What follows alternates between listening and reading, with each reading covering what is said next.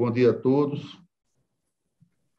Gostaria de declarar aberta a sessão da Câmara Criminal no dia de hoje e justifico a minha presença enquanto presidente em razão da ausência por férias do titular Glauber Rego. E faço cumprimento a todos, principalmente o desembargador Amilcar Maia, que vem em substituição a sua excelência. Cumprimento, no mesmo sentido, o doutor Anísio Marinho, primeiro procurador de Justiça, que ficará durante o mês de novembro conosco. Em seguida, é, proponho a leitura, no caso, discussão e aprovação das atas das sessões do dia 18 e 25 de novembro passados, que não foram apressados no momento oportuno por conta de irregularidade do PJR. Eu voto já aprovando as duas atas. Badu Amilca. Sem divergência. De Badu Gilson. Também.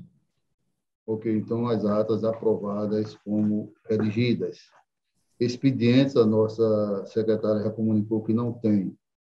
Na ordem administrativa, é, a presidência propõe voto de congratulações pelo Dia do Advogado Criminalista, comemorado no dia de hoje em todo o Brasil, e o faça em razão da importância deste órgão, digamos assim, na consumação da justiça, principalmente a criminal, em todo o Estado. E a única proposta que eu tenho, consulte o bar do amigo, tenho alguma oposição a fazer. Senhor presidente, é, eu, eu sei que foi a despedida da desembargadora Judite na sessão passada, mas nós poderíamos fazer uma, uma, um voto em conjunto por todos nós, né? de congratulações ou de louvor, de reconhecimento, porque a desembargadora Judite foi muito tempo é, titular dessa Câmara Criminal. Acho que Vossa Excelência chegou a trabalhar com ela, não foi, desembargador? Não, foi posteriormente. Posterior? Posterior, foi, ele já tinha saído. É, trabalhei com o Caio, desembargador Caio. Acho que a gente poderia fazer aqui subscrito por todos nós esse um voto de, de reconhecimento pela, pelo trabalho dela dedicado ao hum. tribunal, à corte. Muito bem lembrado, Sérgio. Desde logo eu volto acompanhando você. Final, né? No período a gente poderia ver isso, o período que ela trabalhou e fazer esse reconhecimento, especificamente na nossa Não, Câmara. Eu aprovo Ana fazer esse levantamento para elaborar um ofício bem substanciado. Badosius, concorda? Concordo plenamente. Perfeitamente. Excelência, essa palavra. Pois não, Excelência. É, primeiramente, eu quero saudar Vossa Excelência na presidência que está em substituição ao desembargador Galba, que seja muito feliz nessa interinidade. Saudar também o desembargador Jus Barbosa e o nosso desembargador Amilca Maia. Excelência, eu gostaria primeiramente de me associar à proposição é, formulada pela passagem do dia do advogado criminalista, esse profissional essencial à prestação jurisdicional, que, ao lado do Ministério Público, exerce, portanto, é, os princípios constitucionais da garantia do contraditório e da ampla defesa, e inspirado no patrono Santo Ivo, que é o patrono dos advogados, eles são merecedores de todos os encômios que nós, membros do Ministério Público e, no meu entender, também do Judiciário, pela relevante e prestação de serviços que fazem, muitos, muitas vezes até na condição de dativo daqueles que não têm condições réus que são acusados, a Defensoria Pública também e os advogados particulares.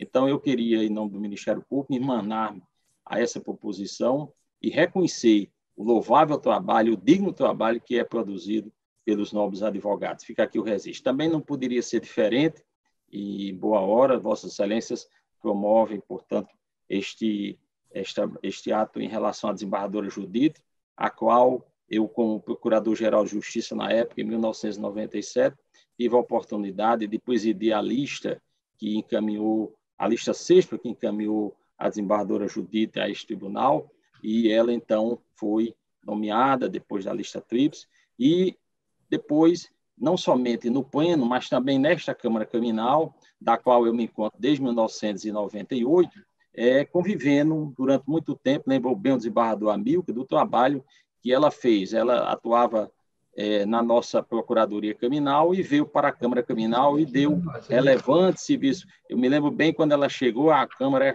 era composta pelo desembargador Alencar, que era presidente, ela membro também, e o desembargador do Belcosme. Então, eu atuava ali também como procurador criminal, e realmente ela teve uma passagem brilhante na Câmara Criminal, no tribunal como um todo.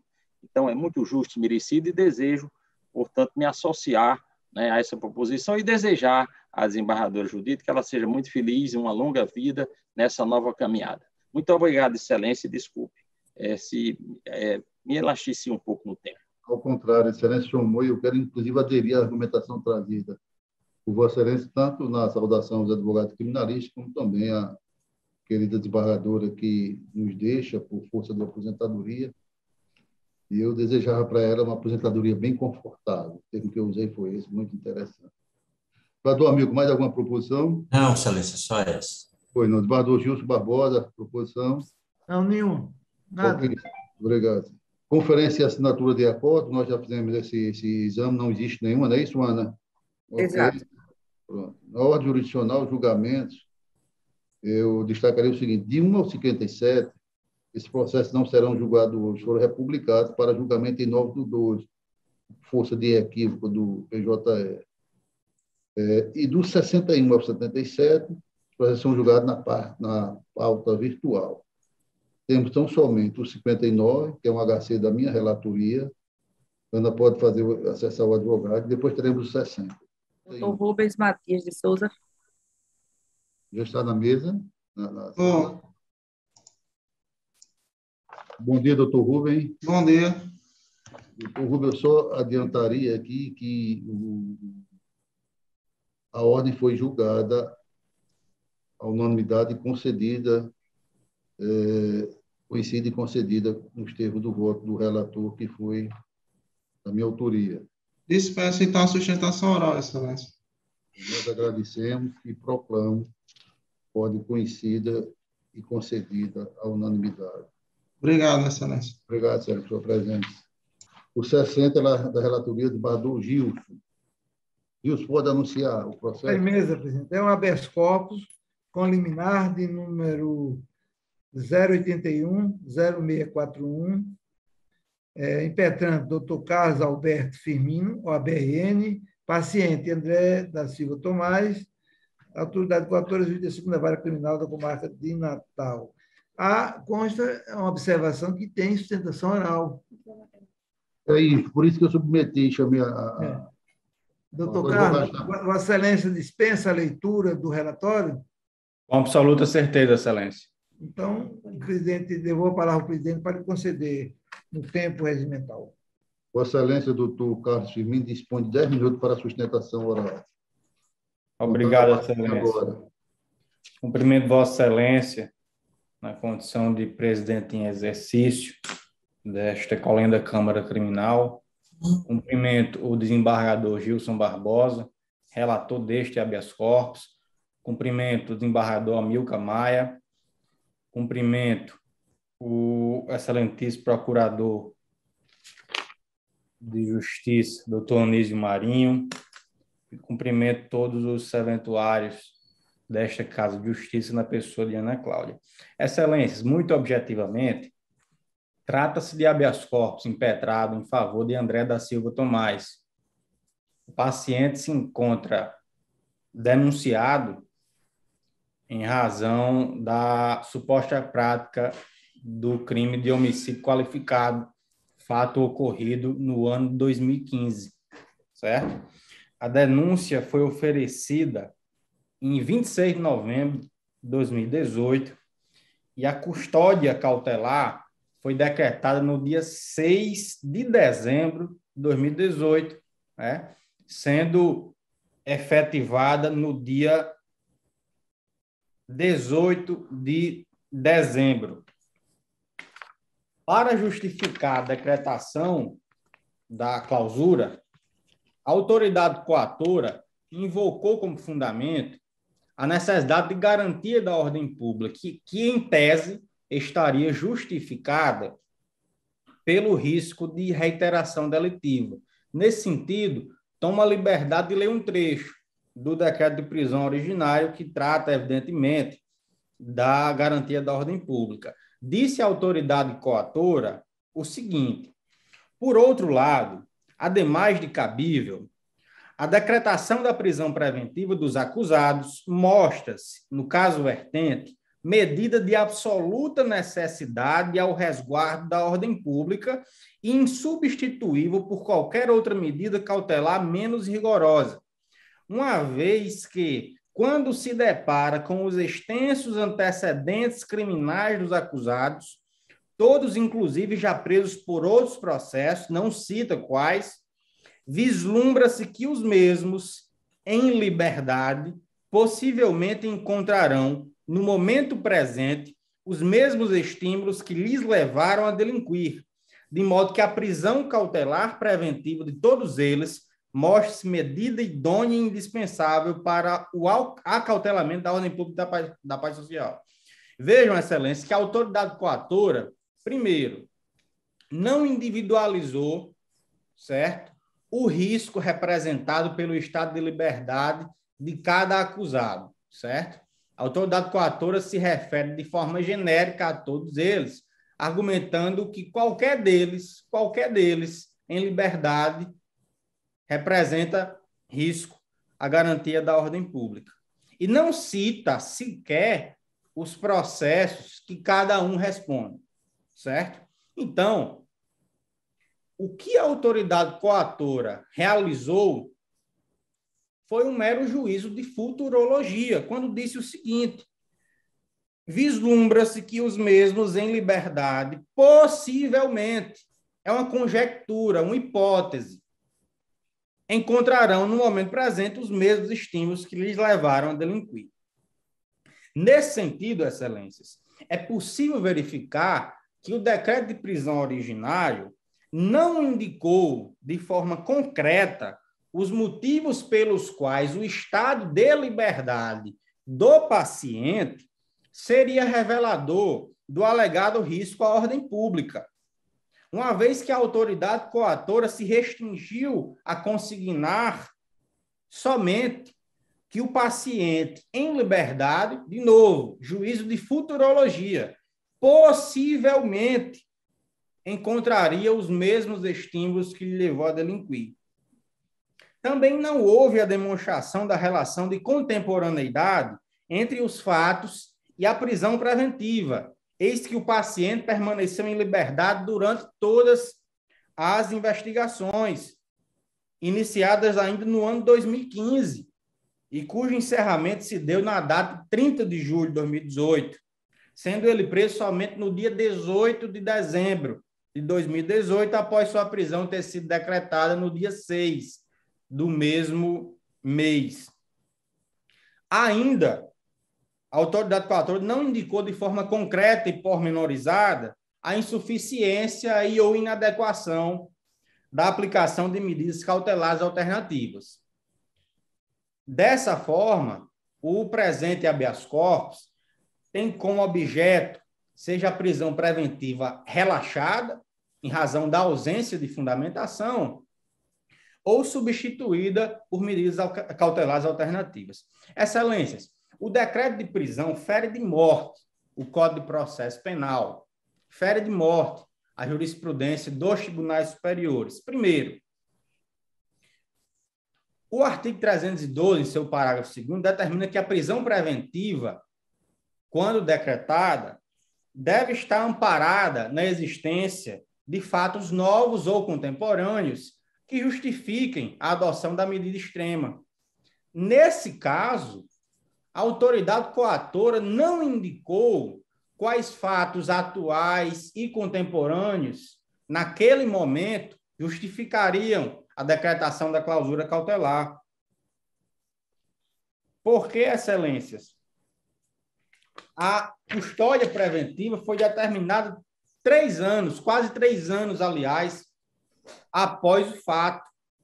E a autoridade coatora não indicou quais fatos supostamente ocorridos neste período de tempo dariam aso, ensejariam a decretação da prisão. Muito pelo contrário, de novo, de forma hipotética, a autoridade coatora afirmou que o paciente em liberdade possivelmente encontraria os mesmos estímulos para delinquir.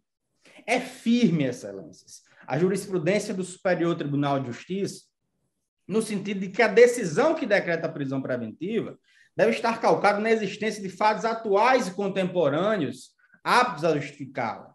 No mesmo sentido, é a jurisprudência do Supremo Tribunal Federal. Consequentemente, excelências, a falta de contemporaneidade dos motivos utilizados para a decretação da prisão preventiva e a não indicação de fatos novos e atuais para justificar a custódia tornam a prisão preventiva ilegal, por não atender o requisito da cautelaridade. Assim, percebe-se que a decisão que decretou a prisão se encontra em desarmonia com o que prevê o artigo 312, parágrafo 2 do Código de Processo Penal. Se por um acaso, apesar dos argumentos até aqui expendidos, Vossa Excelência entenderem que de fato houve justa causa para a decretação da prisão, a defesa requer de forma subsidiária seja a prisão preventiva substituída por medidas cautelares alternativas, uma vez que são aptas à tutela da situação fática invocada pela autoridade coatora, qual seja a garantia da ordem pública. E, nesse sentido, nós estamos indicando especialmente as seguintes: comparecimento periódico em juízo semanalmente, proibição de contato com quaisquer dos réus ou testemunhas, proibição de se ausentar da cidade natal RN, onde possui residência fixa, monitoração eletrônica, recolhimento domiciliar no período noturno. É, o paciente, excelências, embora. Vossa Excelência dispõe de um minuto. Tudo bem, já estou concluindo. Embora não seja objeto do habeas corpus a substituição da prisão preventiva por domiciliar, é muito importante consignar que o paciente se encontra extremamente debilitado em razão de um problema de saúde. Né? Ele está acometido de um tumor na, na sua perna, é, que depende de uma de um procedimento cirúrgico para que se verifique se está relacionado a câncer ou rejeição de platina. Então, o paciente precisa da ajuda de terceiros para realizar suas atividades mais basilares, como tomar banho, vestir a roupa, enfim. Por que, que eu estou discorrendo a respeito do estado de saúde do paciente? Justamente para fornecer elementos para Vossas Excelências quando forem analisar a pertinência da fixação de medidas cautelares alternativas. Por que, excelências? É, o próprio estado de saúde do paciente inviabiliza a ocorrência da reiteração delitiva. Os memoriais foram distribuídos previamente aos gabinetes dos senhores e nele consta uma foto do paciente deitado sobre o chão da cela. É, e é possível ah, visualizar o tumor. É, expirado o tempo, excelência, concluo requerendo a concessão da ordem e agradecendo pela atenção de todos. Muito obrigado, senhor Badu, relator com a palavra. Ah, presidente, esse habeas corpus, que eu sou o relator, eu distribuí previamente com os senhores a minha, a meu voto. E me parece que a emenda seja suficiente. Eu vou ler e qualquer outra coisa a gente esclarece.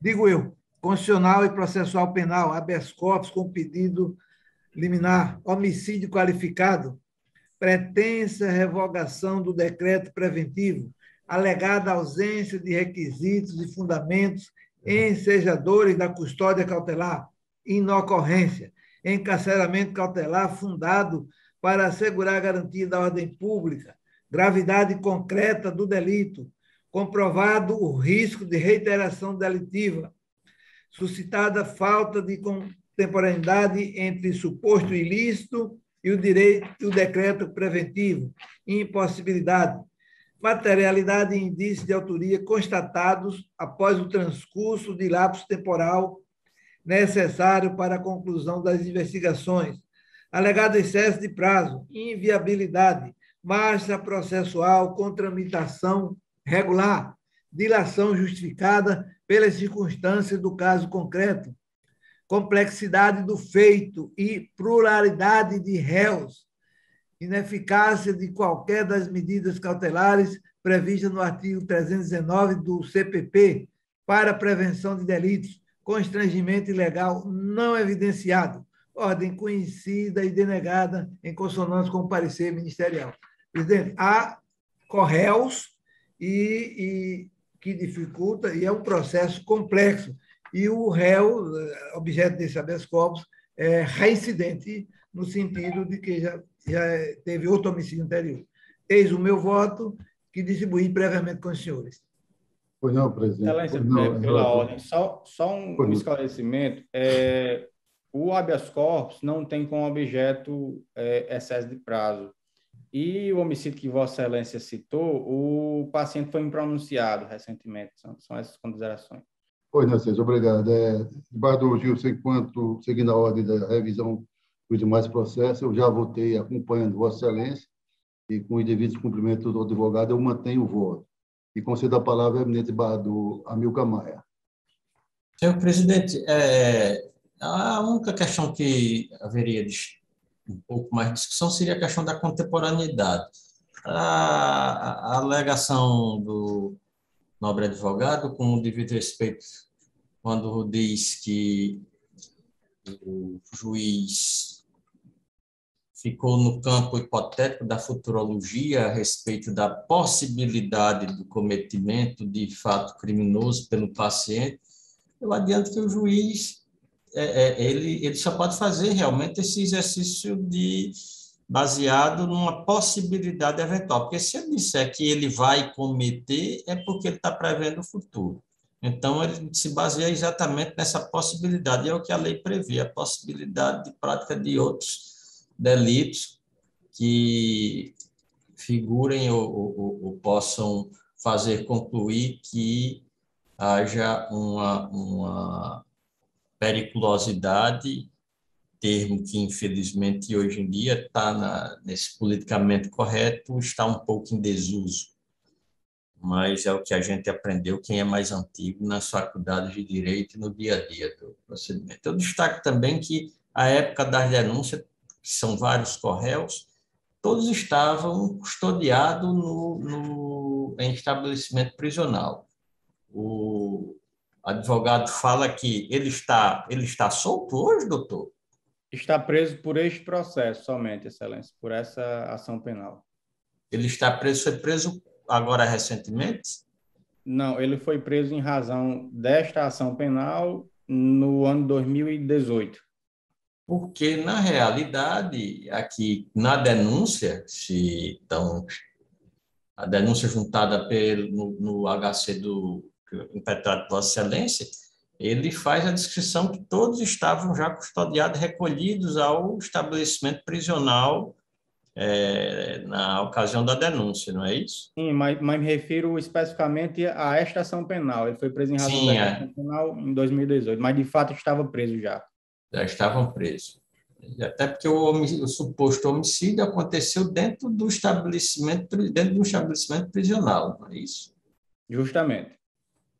Ok. É, eu vou acompanhar o voto do relator, não obstante que, com o desenrolar da, da, da um pouco da discussão, possa se apurar melhor os fatos e, tal situação, podemos até verificar um, uma outra ordem de habeas corpus face à marcha da, da, da ação penal e alguns fatos que possam é, ficar demonstrado que a prisão do acusado não seja necessária. Mas, por enquanto, eu vou acompanhar o relator, porque acho que realmente há elementos que justifiquem essa segregação. Pois não, desembargador amigo, a presidência agradece a Vossa Excelência e proclama que a ordem, à unanimidade, foi conhecida e denegada. Agradecemos ao doutor Carlos Firmino pela presença. Muito obrigado, Excelência. Bom dia. Ana, o terceiro processo que seria submetido a julgamento, o advogado está presente? Se não estiver, só comunicar a ele que, em razão da vinculação do lançamento do voto de Bador Glauber, eh, nós não julgaremos hoje. Ok, Ana? O advogado não está presente. Que havia um pedido de sustentação, não é isso? É. Bom, se ele estiver presente, melhor ainda, porque a gente. É, só você faz a explicação a posterior, ok? Bom, os eminentes colegas têm mais alguma colocação a fazer? Não? Tenho não. Senhor presidente, apenas uma. é, é, é, nesse caso, já os, os processos de hoje que não tem voto do, do porque na realidade parece que tem votos para é, Vossa Excelência é, para a próxima sessão. Parece que nessa daqui os votos que estão na, na, na virtual é, já foram, já constam os votos de desembargador Glauber. É, então, exatamente. É, se não seria o caso, não sei se convém Vossa Excelência assumiria a, a Posso, posso assumir, já, mas né? ele publicaria já hoje para os processos da próxima semana? Não, não, não tem tempo hábil mais. Não tem tempo hábil, né? É, eles então, já estão com o voto. próxima. Eles já estão com o voto do desembargador Glauber. Mas não, não eu digo da próxima semana. Vai ter que ser republicados da próxima semana, não é isso? Então. Na hora que ele assumir a, a, a revisão, é, né, Ana? É. é publicar a pauta com o revisor correto. Aí ficaria para o dia 19. 17, melhor dizendo. Ok, Ana? Nesse caso, só haveria tempo para publicações dos processos da próxima semana, não é isso, desembargador é isso, Saraiva? É isso. Porque os da semana subsequente ele não haveria prazo, a, a, prazo hábil para a republicação. Perfeito. Então, ficaria para o dia 16, que seria a última sessão do ano. Pronto. Então, são os da próxima, da semana, da, da próxima semana Aí já publicaria nessa, nessa ata agora, a, a, que assumiria a revisão dos processos da, da, da, da, da sessão do dia... 16. Dia, seria só, é, dia só, 10, né? Não, dia 9. Dia 9, a pauta já foi publicada. Dia 9, a pauta já está publicada. E consta o hum. voto do desembargador Glauber em todos os processos. Eu entendi. Sim, o de 9 já consta de Glauber nos, nos, processos. Então, não há, não há tempo A para esse daqui, nenhum deles, não é isso? É, é só para procurar, só para que eu me situar, porque como eu não estou habituado com a sistemática da Câmara Criminal, aí eu para que eu possa ver quais são os processos que eu vou começar a olhar. Então, você iria publicar é, essa assunção da, da revisão e eu analisaria os processos que fossem para a pauta do dia 16, não é isso? Sim, senhor.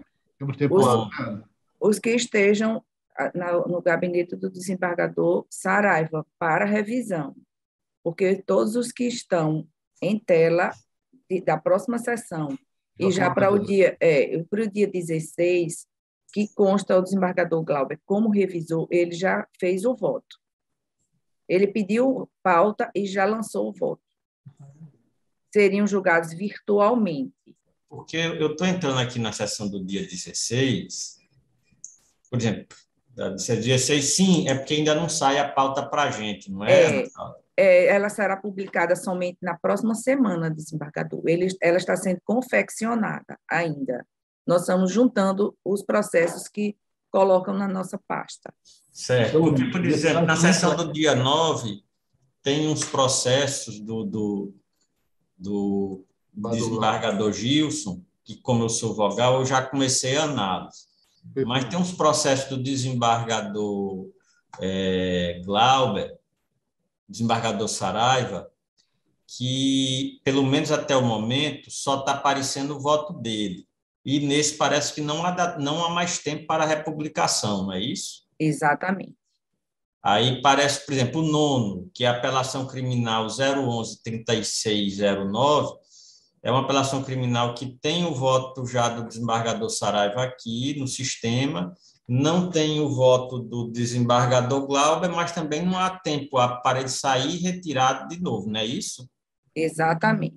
Então, apenas que me avisasse quais seriam os processos, porque realmente, ao que me parece, não tenho tantos processos que possa ser eu, eu, participar do julgamento do desembargador Saraiva, não, porque os que têm o desembargador Glauber parece que já uma parte ele já lançou o voto e o dia 9 não há tempo para retirar e entrar, de, entrar novamente em pauta. Restaria os habeas corpus e algum agravo, algum, algum embargos infringentes, não, algum recurso sem ter distrito, não é isso, desembargador Saraiva? Alguma é coisa nesse sentido? É isso, amigo, é isso. É isso. Viu? Então, estamos assim definidos, ok? Ok, ok. Tá então, eu agradeço a todos. A próxima sessão, como já foi colocado, será dia 9 do 12, e a seguinte, que será a última do ano, dia 16 do 12. Agradeço a todos e, em nome de Deus, declaro encerrada a sessão.